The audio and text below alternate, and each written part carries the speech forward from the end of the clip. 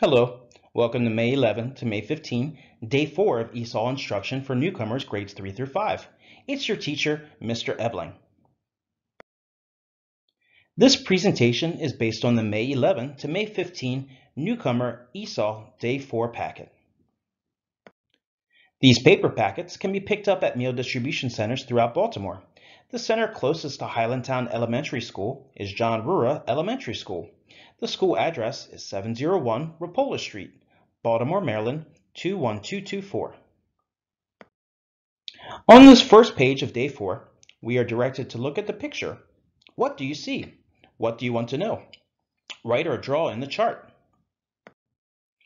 When I look at this picture, I notice different colored butterflies flying and sitting on different colored flowers.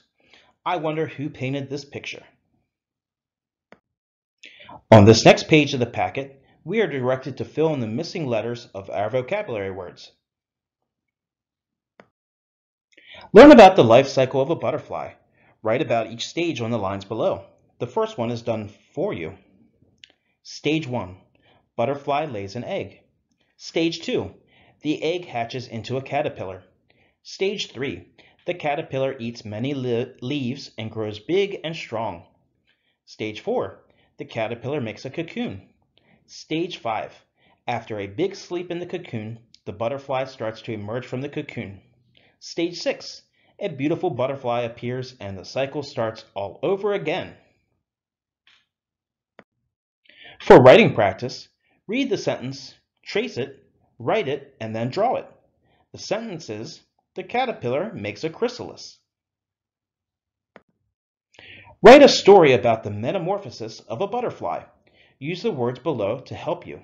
Those words are chrysalis, hatch, leaves, and fly. Here's what I wrote. I'm a butterfly, but I haven't always been one. I once was a caterpillar, eating every leaf I could find. Then one day, I got really tired and made a chrysalis to sleep in. While I slept, my body changed. When I was ready, I broke out of the chrysalis and found something amazing. I had wings. I was a butterfly. Now I could fly all around and visit pretty flowers. My life is amazing. What are some new words that you learned about butterflies? Write three new words and draw a picture of each word. Color of the butterfly. Tomorrow you will learn about grasshoppers. Final steps for Mr. Ebeling. If you are in my Google Classroom, you can either send me a picture of your completed work there or edit the PDF that is in Google Classroom. If you are unable to join Google Classroom, take a picture of your completed packet and text it to me. If you do not have a packet, write your answers on your paper and then text it to me. My classroom code for Google is XUZFSOB. My number to text me is 410-645-0593 but please do not text after 8 p.m. My email is taebeling at bcps.k12.md.us. This is the end of this presentation. Please complete as much of the packet as you can if you have one. More presentations will be posted as they are created.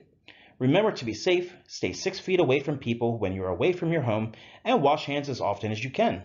Goodbye for now. Mr. Ebeling.